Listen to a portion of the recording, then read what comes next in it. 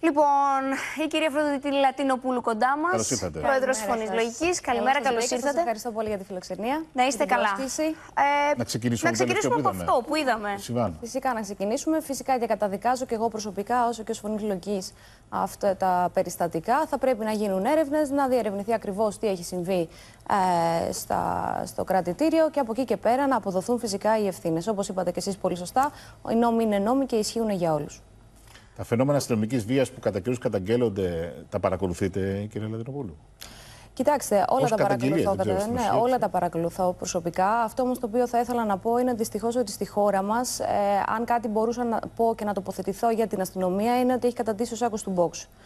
Οι αστυνομικοί με πενιχρούς μισθούς αυτή τη στιγμή ε, βάζουν καθημερινά τη ζωή τους σε κίνδυνο. Βλέπουμε πολλές φορές ότι πέφτουν θύματα ξυνο- ξυλοδαρμών, δολοφονούνται, ε, ε, δέχονται επιθέσεις, δέχονται ύβρις. Άρα λοιπόν νομίζω ότι αυτό το οποίο θα πρέπει κάποια στιγμή να εξετάσουμε είναι κατά πόσο ένα σοβαρό κράτος θα πρέπει να έχει ισχυρά σώματα ασφαλείας. Και αυτό γίνεται φυσικά και με το, με το κατάλληλο νομοθετικό πλαίσιο, αλλά και φυσικά με την υποστήριξη τόσο υλικοτεχνικά όσο και με οποιοδήποτε τρόπο στον Έλληνα αστυνομικό, ο οποίος αυτή τη στιγμή δυστυχώς ντροπιάζεται από τις πρόσφατες δηλώσεις του Έλληνα Πρωθυπουργού, του κ. Μητσοτάκη, που ουσιαστικά βγήκε και τους έδωσε μετά τις εξαγγελίες τους στη ΔΕΘ 20 ευρώ. Αυτά είναι, είναι ντροπής αυτά τα πράγματα τα Για οποία τα νυχτερινά, υπόθηκαν. λέτε. Ε, προφανώς. Καλύτερα να μην τους έδινε τίποτα. Αυτό το οποίο τους έκανε ουσιαστικά τους εξευτέλισε. Τους εξευτέλισε. Καλύτερα και από αυτό που λένε και οι ίδιοι άνθρωποι, χίλιες φορές να μην είχε πει τίποτα, χίλιες φορές να, να μας είχε αφήσει έτσι όπως ήμασταν. Αυτά τα πράγματα είναι ντροπή. Μάλιστα. Να μένουμε στα θέματα της επικαιρότητας, γιατί αυτά είναι που μας ενδιαφέρουν όλους και φαντάζομαι Σαφώς ενδιαφέρουν και και, δεν είναι εσάς και λίγα. ως κόμμα. Τώρα, ε, είδατε το μεγάλο θέμα που ανοίξαμε με τα περιστατικά της ανήλικης βίας, της ανήλικης παραβατικότητας. Είναι πάρα πολλά τα περιστατικά. Μήπως θα έπρεπε να δούμε κάτι άλλο από την κυβέρνηση, μήπως θα έπρεπε να δούμε αυστηροποίηση των ποινών σε ό,τι αφορά τους γονείς; Διότι οι εικόνες το να μεταφέρονται σκέψεις, μεταφέρω και μηνύματα τηλεθεατών που βλέπουμε τόση ώρα. Γιατί το να μεταφέρονται μικρά παιδιά, ανήλικα παιδάκια μέσα σε ένα αστυνομικό τμήμα με χειροπέδες είναι μια εικόνα που δεν θέλει ούτε ο αστυνομικός, αλλά ούτε και εμείς ως κοινωνία να βλέπουμε. Συμφωνώ απόλυτα. Καταρχάς, είναι τρομερά σοκαριστικό το γεγονός ότι αυξάνονται συνεχώς αυτά τα περιστατικά στην, ε, στη χώρα μας και αυξάνονται και οι αριθμοί ουσιαστικά των θυμάτων της παιδικής, της ανήλικης εγκληματικότητας. Άρα, λοιπόν, αυτή τη στιγμή θα πρέπει να δούμε τι κάνουμε σχετικά με αυτό το θέμα. Κάτι το οποίο για ακόμα μια φορά η ελληνική κυβέρνηση τα τελευταία 6 χρόνια δεν έχει κάνει, κάνει απολύτως τίποτα. Και φυσικά θα πρέπει να γίνουν αυστηροποιήσει ποινών και φυσικά θα πρέπει να δούμε τα αναμορφωτήρια και φυσικά θα πρέπει να δούμε ποια είναι η ευθύνη και σε ποιο βαθμό των γονέων. Γιατί και οι γονείς έχουν ευθύνη ότι τα παιδιά τα παραμελούν και φτάνουν σε αυτές τις καταστάσεις να προχωρούν σε τέτοιες πράξεις βίας. Και κάποια παιδιά, μάλιστα, να, να σηκώνουν το κινητό και να καταγράφουν αυτές τις Καλά, μιλάτε για σκηνέ ευθύνες βίας. γονέων, δεν φοβάστε ότι Φυσικά. θα σας ψηφίσουν.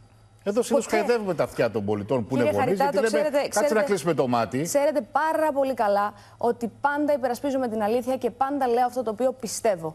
Όσο και αν δεν αρέσει σε κάποιους. Ναι, υπάρχουν ευθύνες. Και θα σας πω και κάτι ακόμα. Αυτό το αφήστε τα παιδιά να κάνουν ό,τι θέλουν.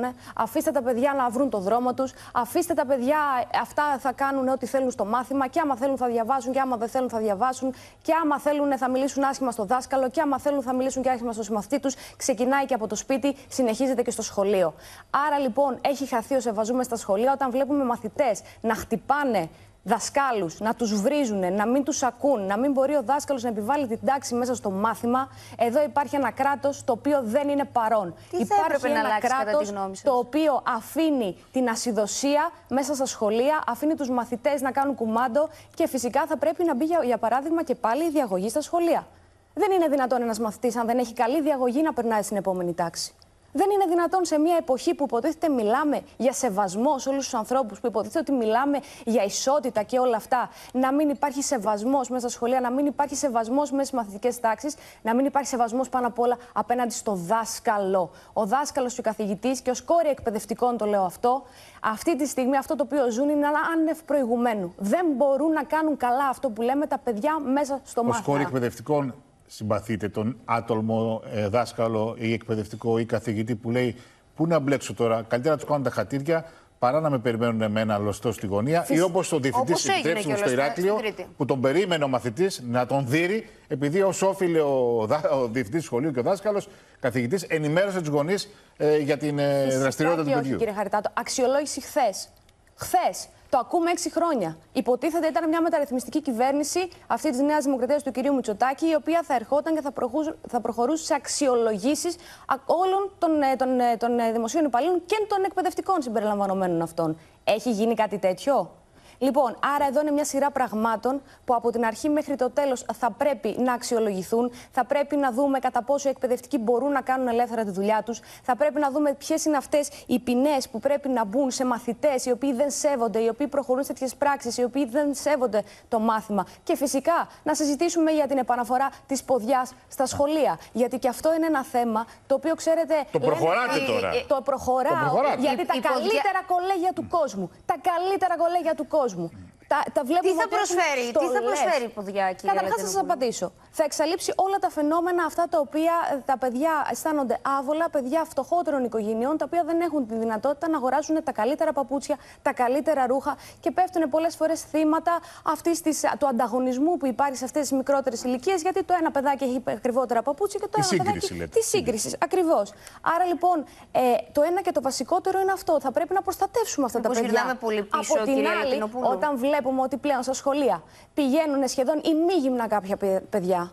Ε, αυτό δεν είναι σοβαρό κράτος. Με συγχωρείτε πολύ. Δηλαδή, δεν γίνεται να πληρώνουν δεκάδες χιλιάδες ευρώ στα κολέγια του εξωτερικού. Δείτε στην Ευρώπη, δείτε στην Αμερική τι γίνεται. Αυτοί δηλαδή τι είναι; Οι ανόητοι και εδώ είμαστε οι έξυπνοι που πηγαίνουν τα παιδιά σχεδόν ημίγυμνα στα σχολεία, μη φορώντας καν τα ρούχα τους πολλές φορές. Δηλαδή, αυτό είναι μια σοβαρή εικόνα ενός ισχυρού κράτους που θέλει να έχει μια καλή και σοβαρή εικόνα προς το εξωτερικό. Α πάρουμε λοιπόν παραδείγματα. Δηλαδή, αν ένα κορίτσι φοράει ένα σορτσάκι στο σχολείο του, δεν είναι σοβαρό; Προφανώς και δεν είναι σοβαρό. Προφανώς και δεν είναι σοβαρό. Δηλαδή, αυτό μπορεί να θέλει να το βάλει και αν του το επιτρέπουν οι γονείς του να το βάλει σε μία βόλτα με τις φίλες του ή οπουδήποτε θέλει να πάει. Αλλά τα σχολεία δεν είναι μπαρ.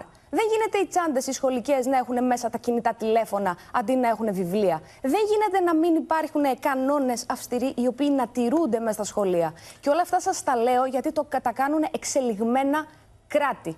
Όταν λοιπόν το βλέπουμε ότι το κάνουν κάποιοι άλλοι και εμείς εδώ έχουμε καταντήσει τριτοκοσμική χώρα, τόσο όσον αφορά τα σχολεία μας, όσον αφορά και τα πανεπιστήμια μας, άλλο τόσο, ε, καταλαβαίνετε ότι αυτή η κατάσταση κάποια στιγμή πρέπει να Πάντως... μπει ένα φρένο, να τραβήξουμε μια κόκκινη γραμμή και να επανέλθουμε στη λογική. η λογική λέει ότι πρέπει να γίνουν κάποια πράγματα από εδώ και στο εξής. Κύριε Λατινοπούλου, πολλοί θα, τηλεθεατές θα πούνε πολύ αυστηρή η Λατινοπούλου και πολύ ακραίο αυτό που λέει. Εγώ Λογική απλά να προσθέσω, χωρίς να παίρνω τη μία την άλλη πλευρά, Είχαμε δύο περιστατικά πέρσι ε, στη Βουλή, στην επίσκεψη μαθητών στη Βουλή, όπου το σκάνερ με διαφορά 8 ή 10 ημερών εντόπισε δύο ανήλικα άτομα που στο σακίδιό τους, επίσκεψη στη Βουλή με το σχολείο ήταν, είχαν το σουγιά τους και, και, και το ναρκωτικό τους. Ναι. Και τη φούντα τους, να το πω έτσι. Γιατί, γιατί αυτό ξαναλέω. Πέρασες ψηλά αυτό. Όταν, Δεν θορύβησε όταν... κανέναν. Το σουγιά Κύριε Χαριτάτο. Και τη φούντα. Φυσικά και το θυμάμαι και μάλιστα στα σχολεία γίνεται αυτό. δεν κάνουν καλά τη δουλειά τους. Μα... Οι γονείς, τη την υποχρέωσή τους, το καθήκον τους, οι εκπαιδευτικοί, την ύψιστη ευθύνη την έχει πάντα η κυβέρνηση μιας χώρας. Αυτή είναι αυτή η οποία θα ορίσει το νομικό πλαίσιο και αυτή είναι η οποία θα δώσει τις ακουγόμαστε συντηρητικοί πολύ όμως; Όχι, καθόλου συντηρητικοί δεν ακουγόμαστε. Ακουγόμαστε λογική. Όπως είπατε κι εσείς, τι γίνεται στις περιπτώσεις όπου μαθητές έχουν πάνω τους σουλιάδε ή μαχαίρια. Γι' αυτό φταίει η κυβέρνηση ή, ή φταίει η οικογένεια και το σπίτι; Όλα μαζί φταίνε. Δεν είναι ένα ζήτημα το οποίο μπορούμε να το εξετάσουμε και να ρίξουμε μονο, μονομερός κάπου τις ευθύνες. Θα πρέπει να δούμε, γιατί είναι ένα πολυπαραγωγικό παραγωγικό ζήτημα. Σας εξήγησα και πριν. Φταίει και το σπίτι, φταίει και η, φταίνε και η εκπαιδευτική, φταίει και η κυβέρνηση. Όμως, σας εξηγώ ότι όλα πρέπει να αντιμετωπιστούν παράλληλα και όπως αυτό το οποίο είπατε, όταν ξεκινάει κάτι και το αφήνουμε και το περνάμε στα ψηλά, όπως λέμε. Δηλαδή, εντάξει, δεν βαριέσαι, πέρασε ένα σουγιάς και ένα μαχαίρι σε ένα σχολείο και ένα δεύτερο μαχαίρι σε ένα δεύτερο και ένας ξυλοδαρμός σε ένα τρίτο. Ε, αυτό είναι αυτό το οποίο λέμε ότι δεν μπαίνει ένα φρένο κάπου να βάλουμε μια κόκκινη γραμμή και να πούμε ως εδώ. Ω εδώ. Αυτή η ασυδοσία, η οποία σας θυμίζω ότι δεν είναι μόνο στα παιδιά.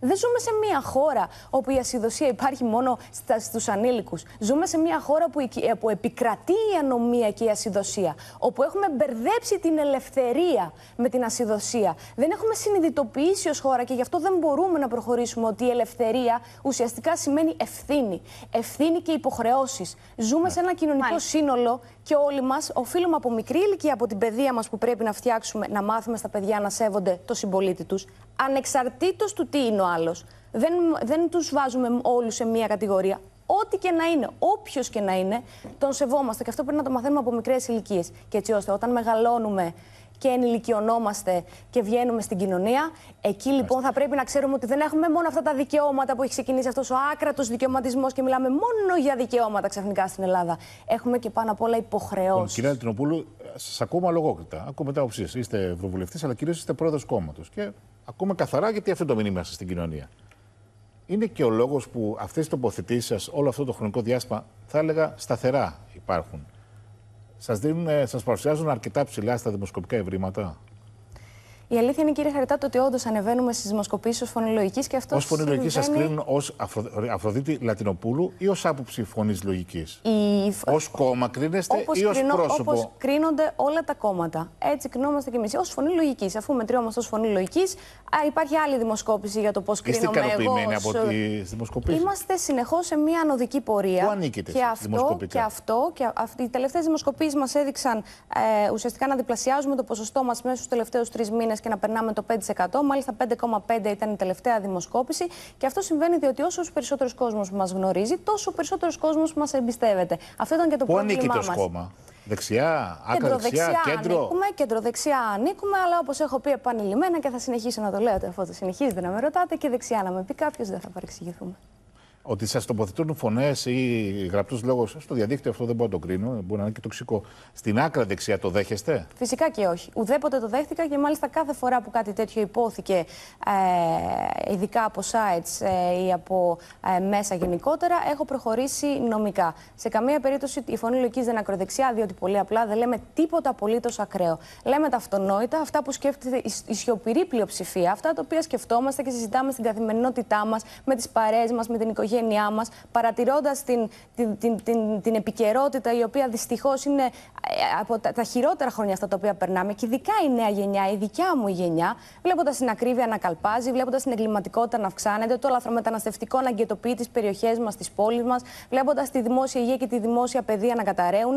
Άρα λοιπόν, ερχόμαστε ως φωνή λογικής και λέμε ότι πιστεύουμε ότι αξίζουμε καλύτερα. Πιστεύουμε ότι η Ευρώπη δεν πρέπει, για παράδειγμα, να γίνει Ισλάμ. Δεν είναι ακραίο αυτό. Πρόεδρο της Δημοκρατίας, είδε τον κύριο Σαμαρέτη, τον κύριο Καραμαλή, το κάνετε για να εκρεβήσετε τον, τον Κυριάκο Μητσοτάκη ή είχατε άλλους λόγους; Ποτέ δεν κάνω κάτι γιατί δεν, δεν, δεν, το, δεν κάνω ποτέ κάτι, δεν λέω ποτέ κάτι για να, για να απασχοληθεί κάποιος άλλος ή για να ενοχλήσω κανέναν. Πάντα λέω αυτό το οποίο πιστεύω. Τώρα, σε κάποιους αρέσει, σε κάποιους μπορεί να μην αρέσει. Αυτό ήταν η άποψή μου και συνεχίζει να είναι αυτή η άποψή μου, ότι θα πρέπει μετά το αποτυχημένο πείραμα της Προεδρίας της κυρίας Σακελαροπούλου, που αποδεικνύεται ότι είναι αποτυχημένο, διότι πολύ απλά βλέπετε ότι τώρα προφανώς ε, δεν θα ανανεωθεί. Αποτυχημένη την πρόεδρο της Δημοκρατίας, Αποτυχημένη, λέω την πορεία της. Θα μπορούσε να το, να το, να το επεξεργαστεί εντελώς διαφορετικά, να έχει κάνει καλύτερα πράγματα από το να τρέχει σε πάρτι μετά τον νόμο για τους ομοφυλόφιλους. Εν πάση περιπτώσει, αυτό ήταν κάτι το οποίο έχει τελειώσει. Τώρα το θέμα είναι τι γίνεται. Και η ίδια η Νέα Δημοκρατία του κ. Μητσοτάκη, ξέρετε πάρα πολύ καλά αυτή τη στιγμή ότι έχει στελέχη τα οποία με αυτά τα οποία βγαίνουν και λένε, όπως η κυρία Βούλτεψη που βγήκε προσφάτως και μίλησε για το ότι δίνουμε τις ανέσεις, όλες τις ανέσεις στην Ελλάδα στους λαθρομετανάστες και τους δίνουμε ηθαγένειες και άμκα και αφημί και ουσιαστικά κάνουμε τη γη της επαγγελίας στη χώρα μας. Πείτε μου ειλικρινά εσείς, θεωρείτε ότι κάποιος ο οποίος λέει ότι αυτό είναι λάθος για την Ελλάδα είναι ακραίο; Κύριε εμεί δεν απαντάμε. Εμείς ρωτάμε τους Γερμανούς πλέον. Είστε κι εσείς όμως πολίτες και ξέραμε, ναι, γιατί τώρα και ο Σόλτς μάλλον θα γίνει ακροδεξιός, ίσως που έκλεισε τα σύνορα, να μην το ξεχνάμε και αυτό. Ευχαριστώ πάρα πολύ για την παρουσία σας. Να είστε καλά. Να είστε καλά. Ενδιαφέρουσα κουβέντα μαζί σας. Να είστε καλά. Καλημέρα.